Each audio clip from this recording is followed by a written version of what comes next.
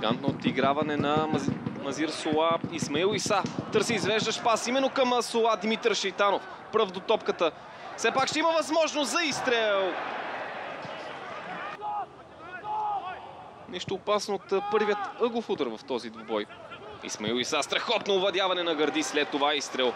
Отново красив момент в матча. Отново. Четири сезона за моряците, така че сигурен съм, че те ще се опитат да достигнат поне същото ниво от миналата година. Изстрел на Мартин Петков и ето го, може би, първото. Добре се извиси нападателят на столичани.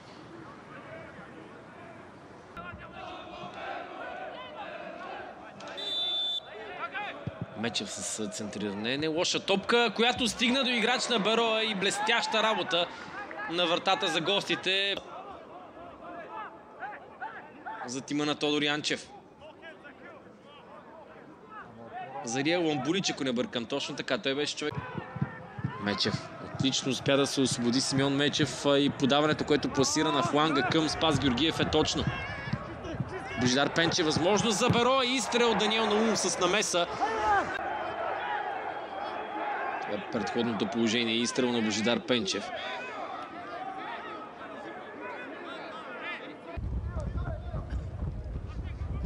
Радослав Кирилов. Ради Кирилов с хубаво изпълнение, което е отразено от Иван Караджов. Ще е сложно за тях. Дюкенс Назон в наказателното поле. Финтове на Дюкенс Назон, след което изстрелва му с левия крак, беше блокиран. Опасността не е отминала. Още едно изпълнение, много технично. Маурисио Гарцес пробва да насочи топката в далечния ъгъл на пазената от Кристиано Фигейредо врата. Вен Дюкенс Назон успя да нахуе в наказателното поле.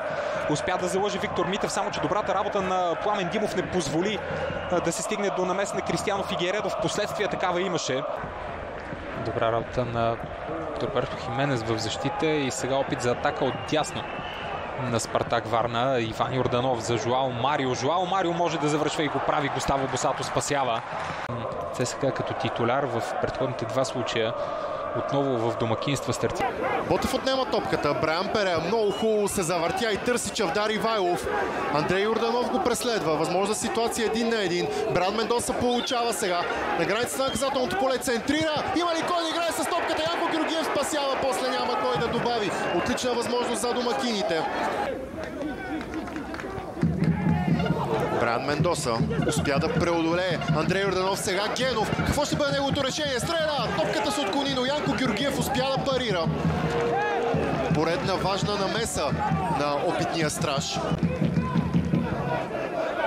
Намира свободния момчил Цветанов, който успява да намери Марко Мажуга. Нов изстрел. Първи случай, в който Светослав Ковачев успя да се справи с съпротивата на Цунами. Сега възможност за домакините. Спасяване на Пламен Андреев. Радослав Цонев, струва ми се, беше човека, който изпрати този изстрел към вратата.